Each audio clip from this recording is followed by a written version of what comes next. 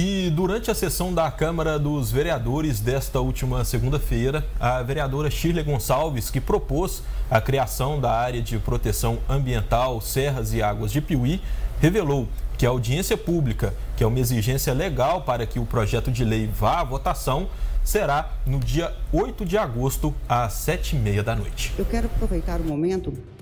para já deixar para a população,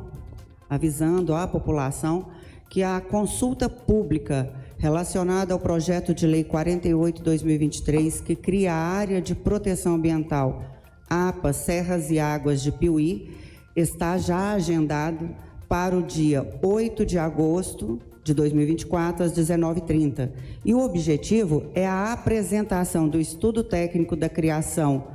da APA Serras e Águas de Piuí e consulta presencial à população conforme determina a legislação ambiental. É, por isso,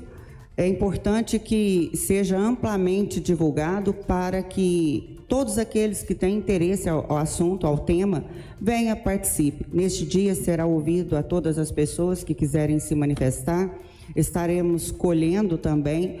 é, alguma indicação, alguma alteração que a pessoa queira que faça todas as observações necessárias e